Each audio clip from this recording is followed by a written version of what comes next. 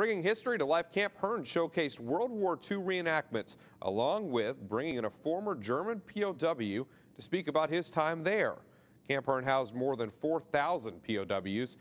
Last weekend, people got a chance to check out authentic American and German World War II memorabilia, as well as see the Yellow Rose, a preserved B-25J Mitchell bomber. Look at all this equipment, think it's neat, and see the guys in uniform talking, and, and they just, it's a history lesson for them. Camp Hearne hosts this event every October. People also witnessed a weapons demonstration from authentic World War II guns.